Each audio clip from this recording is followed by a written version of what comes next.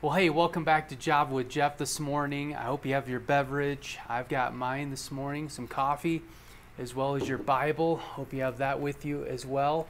Um, I'm going to look at a character in the Bible really fast uh, in 1 Kings uh, chapter 17. If you have your Bible or you need to hit pause, go ahead and turn there. 1 Kings chapter 17, Elijah.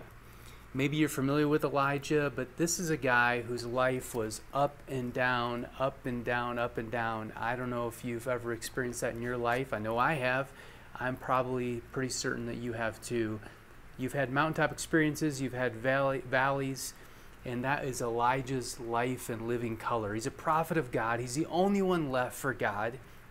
And he has these moments of miracles. He's a spokesperson for God. He tells uh, the people exactly what the Lord wants him to know. And, and he, he has this episode where he's fed by ravens in chapter 17. And then he has this encounter with a widow. And uh, the widow uh, supplies a little bit that ends up feeding Elijah. And along the course of that, if you get to chapter 17, verse 17, sometime later the son of the woman who owned the house became ill. And he grew worse and worse and finally stopped breathing. So the son of this widow died. And Elijah came along and uh, calls out to the Lord in verse 22, and the Lord hears him. The Lord heard Elijah's cry, and the boy's life returned to him, and he lived. So Elijah, by calling out to God, sees the boy come back to life. He's resurrected. Incredible. I mean, if that happened to you, you would remember it. It would be a mountaintop experience. And then the Lord came to him a time later and said, Hey, you need to go to Ahab, the king, and let him know that we're going to have a little contest. And maybe you're familiar with this story on Mount Carmel. And that's what happens next in chapter 18. So, a really quick version of that is it's Elijah versus 450 prophets, uh, false prophets of Baal and others. And, and they have a little contest to build some altars to find out who the one true God is and they worship around this altar and do crazy things, and it almost actually turns demonic and nuts, and they knock down the altar. And Elijah finally says, Time's up, my turn.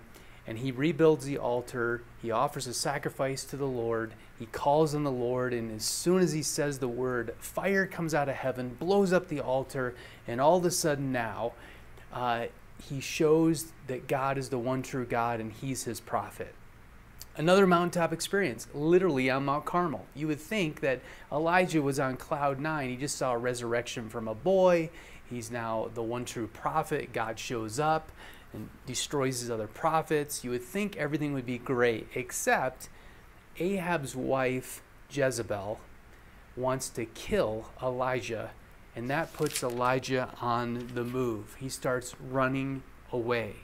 And here's what happens coming off that mountaintop experience in chapter 19. Now, Ahab told Jezebel everything Elijah had done how he had killed all the prophets with the sword. So Jezebel sent a messenger to Elijah and said, May the gods deal with me. But it, even so, severely, if by this time tomorrow I do not make your life like that of one of them. So Jezebel is coming after Elijah because Ahab, her husband, who didn't have the guts to stand up to her, told her all about this stuff. Verse 3 Elijah was afraid and ran. What? Elijah just saw the widow's son rise from the grave. Elijah just saw 450 prophets of Baal to get destroyed by God. But he's afraid of this woman. So he runs to Beersheba in southern Israel and Judah. He left his servant there and he calls out to God. And here's what it says I have had enough, Lord. He said, Take my life.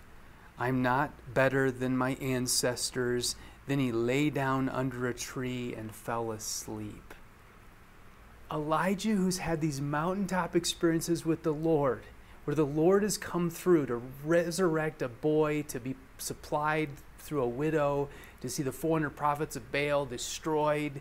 God came through, and yet he's fearful of this one woman who's chasing him and wants to kill him.